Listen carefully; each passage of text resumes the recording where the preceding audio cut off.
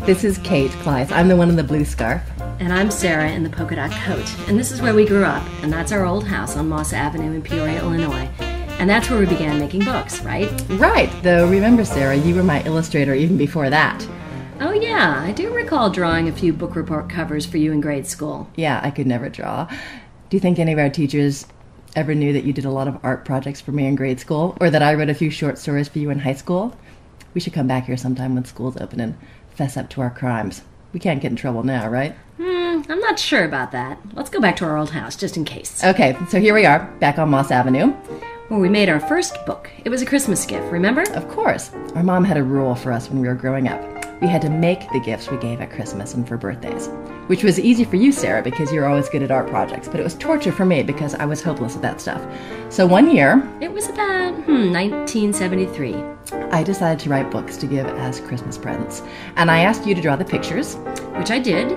We didn't have computers back then, so you used notebook paper and markers. Yeah, the story was about a little mouse who travels around the country stealing Cheetos and corn curls. I thought it was brilliant.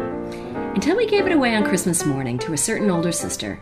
Kate, do you remember where we found our book the day after Christmas? Yeah, in the garbage can. Our first rejection. But, you know, that's the day I think I became a writer. Because instead of getting my feelings hurt, I got busy and wrote another book the next day. And you drew the pictures. And then we made another book, and another book, and another. And 35 years later, we're still doing it. I love this street and the houses on it. We used to ride our bikes from our house over here to High Street. I like to look at the houses. I like to look in the windows and make up stories about the people who lived in these houses. Look at this one. Ah, it's fabulous.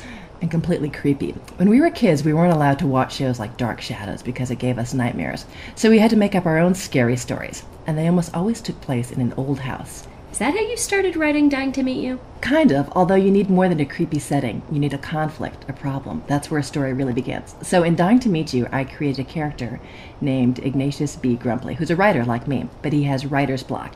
So he decides to rent a house in a quiet town called Ghastly, Illinois, which I made up. But I didn't make up the house he rents. I based it on this house right here because it's so beautiful and creepy. So Ignatius Grumply rents this house to work on his book. Yes, but once he gets there, he finds someone's already living in the house an 11 year old boy named Seymour and a ghost named Olive C. Spence. Say it fast Olive C. Spence. Olive C. Spence. I love suspense. Exactly. Olive C. Spence made a vow that she would haunt her house and the town of Ghastly forever, or until someone publishes one of her books. So, Dying to Meet You is the story of the relationship between the old writer, the young boy, and this 190 year old ghost. Exactly, and what happens when the three spend a summer together.